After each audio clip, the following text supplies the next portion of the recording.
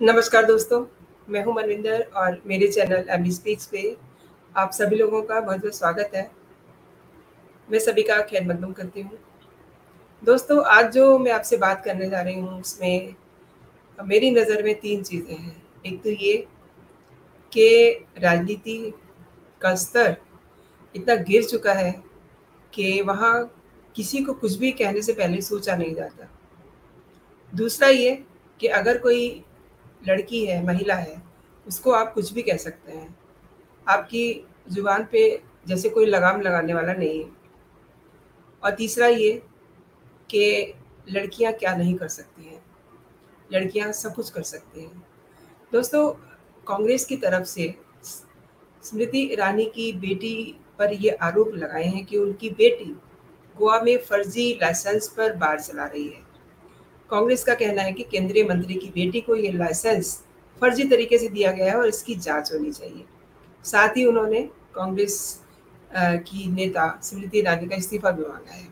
मैंने आपसे तीन बातें कही थी तो उसमें पहली बात तो ये है, बेटी की बात है।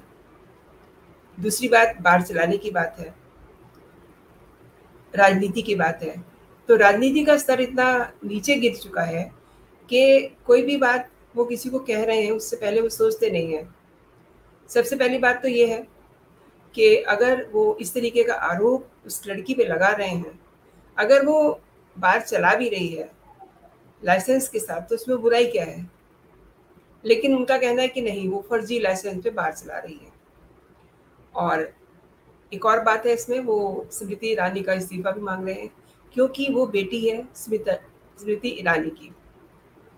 अच्छा ये जो नेता है स्मृति ईरानी ये बीजेपी के फायर ब्रांड नेता है तेज तरार नेता है।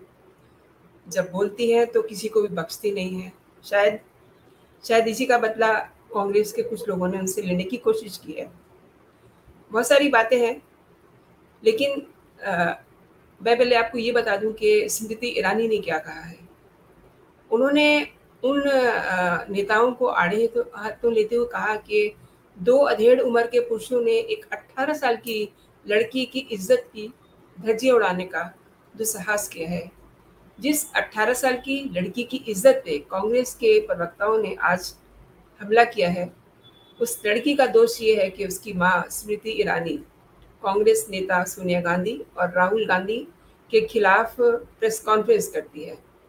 यहाँ दोस्तों मैं आपको बता दूँ कि वो माँ बहुत बहादुर है, जिसने इसके खिलाफ आवाज़ उठा दी है और इसके खिलाफ बाकायदा प्रेस कॉन्फ्रेंस की है। आगे स्मृति ईरानी कहती है कि उस लड़की लड़की का दोष ये है कि उसकी माँ ने 2014 में और 2019 में अमेठी से राहुल गांधी के खिलाफ चुनाव लड़ा और उन्हें हरा दिया। हालाँकि वो अपनी बात मीडिया से कहते हुए उनका गला भराया क्योंकि उनकी बेटी पे आरोप लगे थे। उनका गला भराया जिस आरटीआई और कागज़ का हवाला दिया गया है, उन्होंने कहा कि उसमें उनकी बेटी का नाम नहीं है। उन्होंने ये भी पूछा कि मेरी बेटी का नाम कहाँ है?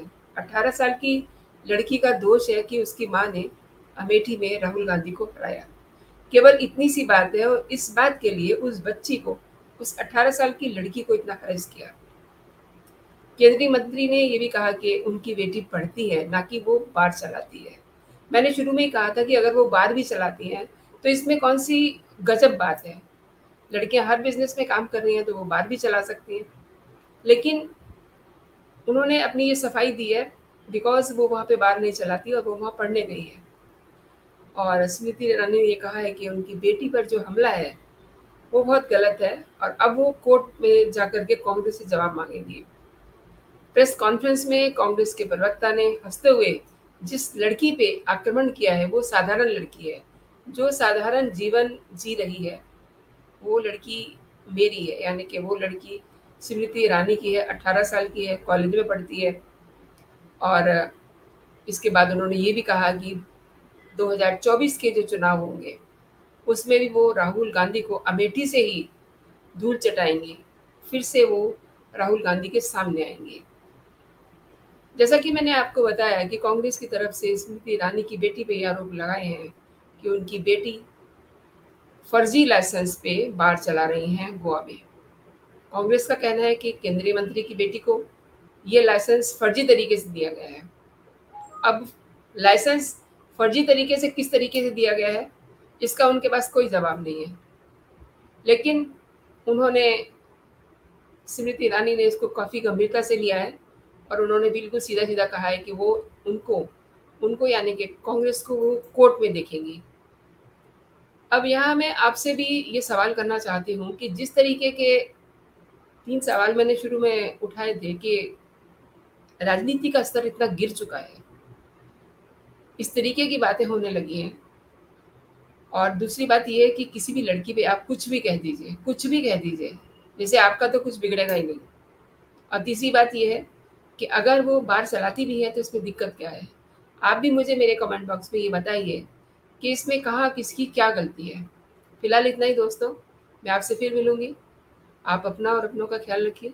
जय हिंद, जय भारत।